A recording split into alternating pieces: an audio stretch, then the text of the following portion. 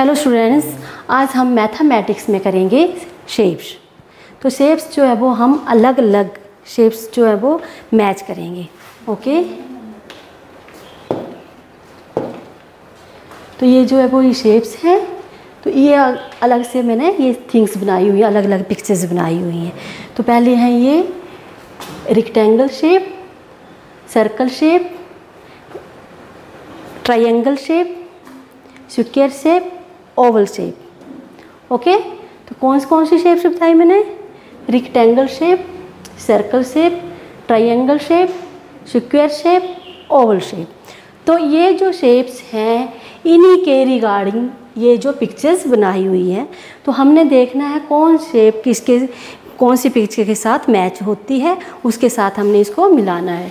तो ये है रिक्टेंगल तो यहाँ फाइंड करेंगे आप रिक्टेंगल शेप में आपको कौन सी थिंग्स दिखाई दे रही है। तो यहाँ पर है आइसक्रीम तो रिक्टेंगल शेप को हम इस तरह आइसक्रीम के साथ मैच करेंगे।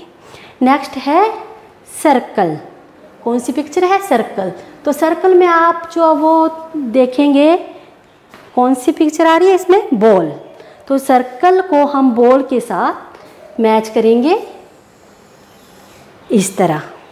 नेक्स्ट है रिक्टेंगल तो रिक्टेंगल शेप में आप देखेंगे कौन सी जो आपकी पिक्चर है?